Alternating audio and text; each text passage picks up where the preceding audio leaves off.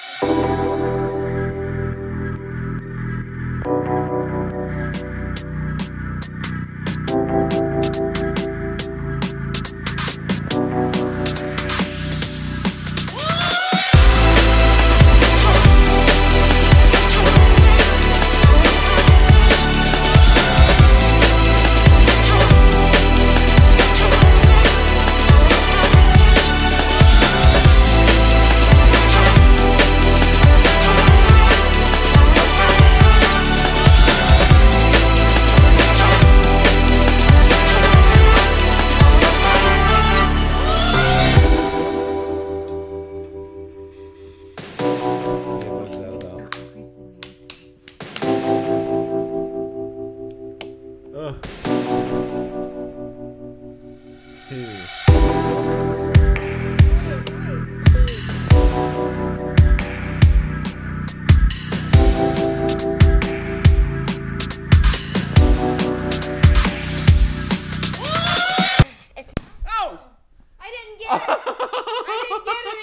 is River's actual birthday. She is eight today, eight years old.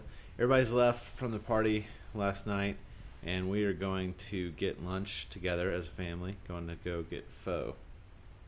River's favorite noodle place.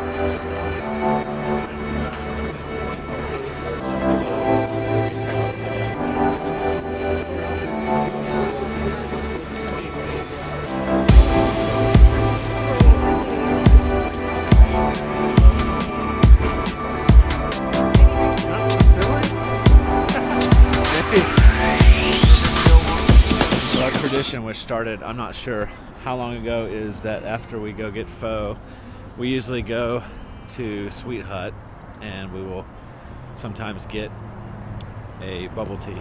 So, since today is River's birthday, we're gonna go in and get some bubble tea. Are you getting the mango? Yeah, that's my usual.